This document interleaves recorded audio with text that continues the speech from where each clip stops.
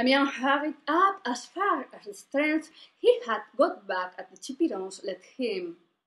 He felt the resistance steps after him like a predatory animal thirsty for blood. He felt their cool breath on his nape. Suddenly, a strong punch and the ground on the face. One less. Beatriz brought it up with coolness. Damian breathed slowly, not to wrap up the life his hunter thought yet robbed. He was focused on keeping the posture as he used to do in front of the yellow government seat. He was focusing on his cowardice. What? Are you going to lay down right there the whole day? Beatriz asked. Damian didn't answer. Expected she to get tired. It wasn't my intention to finish you off like a scared rabbit, but if I have to do it, I will. Get up right now, Beatriz ordered. Damian didn't want to give up so fast. Beatriz grabbed him by the neck and turned him over. Get up now, she shouted. Damian did what she told him. He even didn't notice how small she was and how big he was. The strength of the blow had accepted his perception, and Beatriz seemed to him like a powerful being capable of killing him with a slight movement. You'll never land. Go ahead. Beatriz punched him again to make him walk. Damian didn't know where to go, but Beatriz directed him with strong and blunt punches. You'll have something interesting to say, at least. I'm fed up with these long walks for nothing.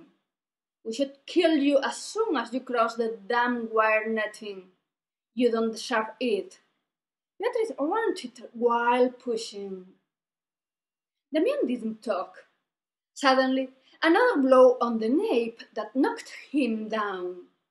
This time he didn't react, not for pretending death. This time Beatriz almost got it.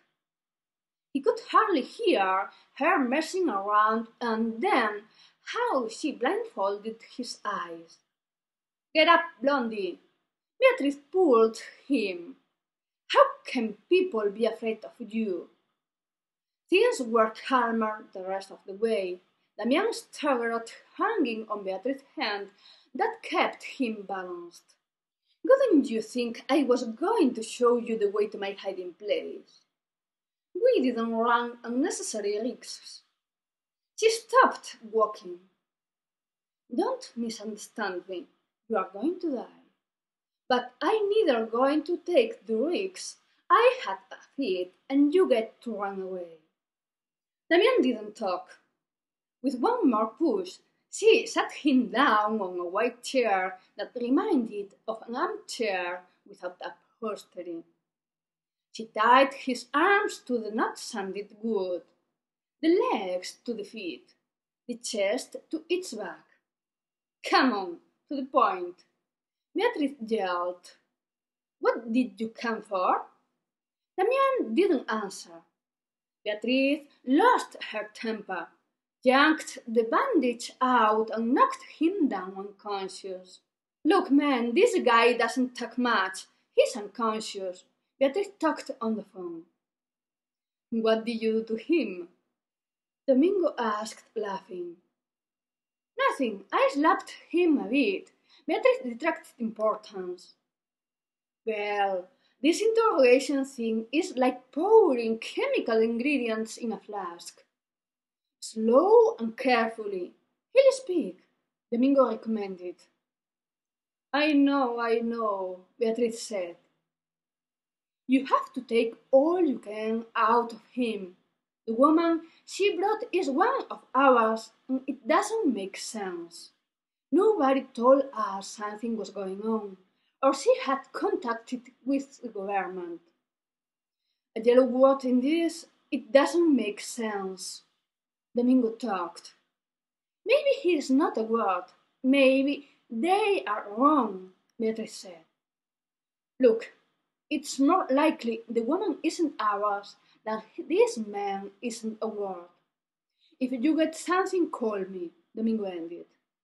Sure, sure, Beatrice said over the free-line tone.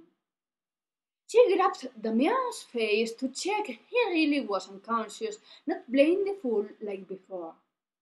The unconsciousness was real. She took advantage of his rest to search the bag the man hanged so eagerly.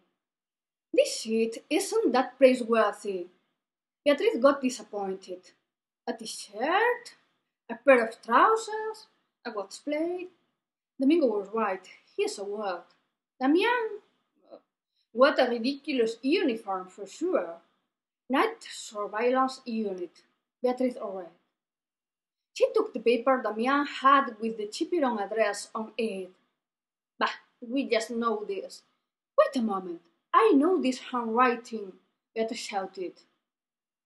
Oh Lord, my head hurts. Damian muttered, trying to untie him up to touch his head. Take it easy, man. Don't move. If you have a headache, put up with it. The sooner you speak, the better. Who did give this note to you? Beatrice asked. What note? Who are you? My head hurts so much. Damian moaned. Beatrice took the weapon and aimed at his head. Now, does it hurt more, or has it healed yet? An evil Beatrice asked.